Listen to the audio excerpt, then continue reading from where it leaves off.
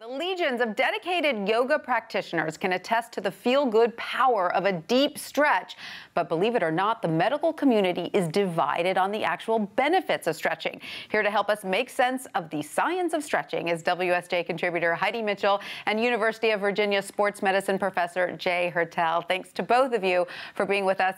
Heidi, I have to tell you, I spent years as a dancer stretching every day. I still, it's the one thing I can still do. And now you're going to tell me that there's no benefit to it? Well, you know, it definitely feels good, and that sends a signal to your brain right. that you know you're doing something that you know was getting you moving. It gets the blood flowing. But this, the science has been inconclusive, and people still argue about whether or not there are any actual benefits to the stretching itself. So it feels good. That's the best you can tell me. All right, Dr. Hertel, please tell us what exactly happens when we stretch. Why is it often painful, and do you recommend people push through the pain?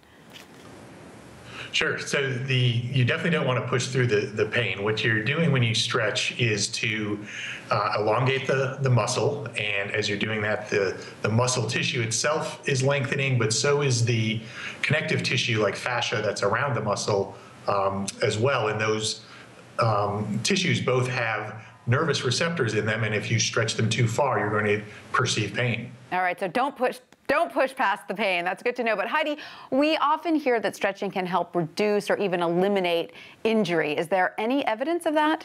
Well, the interesting thing is that most of the studies that have been done, they work with uh, sports teams, so they have a larger set of people to work with, and it's hard to decouple stretching from warming up. So warming up does have benefits. You get the blood flowing to the muscles. Dr. Hertel can attest to that as well. Sure. But it's hard to say whether it's the stretching or whether it's the warming up. And but and Dr. Hertel, can you actually be too flexible? Is that possible? So flexible that you lose strength?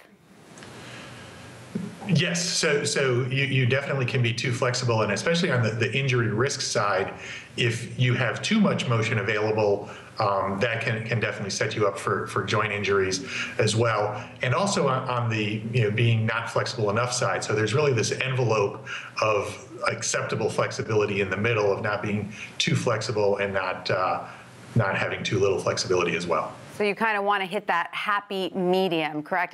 Now, Heidi, you write though that popping into the splits is something that no one should do. We should all take it easy, right? When's the last time you were able to pop into the splits? I'm not really that concerned about that. but yeah, you know, if you've ever gone a little bit too far in yoga where you're going into warrior pose and you go too far, you can feel that pain and you can pull a muscle, you can injure yourself. So you don't want to push through that pain. So easing into it is the way to go. And Dr. Hertel, what role should stretching play in warming up? Is it essential that we add that to our warm up routine?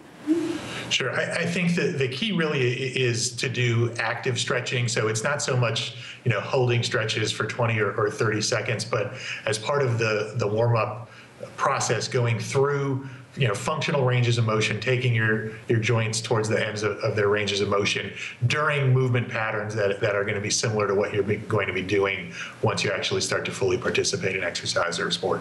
All right well i like stretching too much to stop so i'm going to keep with it no matter what. Heidi and dr hertel thanks to both of you for being with us. And after the break the rise of the aging exerciser. Stay with us